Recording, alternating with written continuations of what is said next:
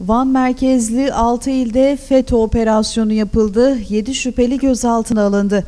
Van Emniyet Müdürlüğü'nden yapılan açıklamada Van Cumhuriyet Başsavcılığı koordinesinde FETÖ, PDY silahlı terör örgütünün bütünüyle deşifre edilip faaliyetlerinin sonlandırılması, örgüt mensuplarının yakalanarak haklarındaki gerekli yasal işlemlerin yapılabilmesi adına Bitlis Polis Meslek Eğitim Merkezi'nde eğitim alırken mahrem imamlarla irtibatta olduğu tespit edilen polis okulundan ihraç edilen öğrenci 8 örgüt üyesi şüpheliye yönelik olarak Kaçakçılık ve Organize Suçlarla Mücadele Şube Müdürlüğü görevlilerimizce 14 Ocak 2020 günü Van merkezli İstanbul, Adana, Konya, Erzurum ve Hatay illerinde yapılan eş zamanlı operasyonda 7 şüpheli yakalanarak gözaltına alındı.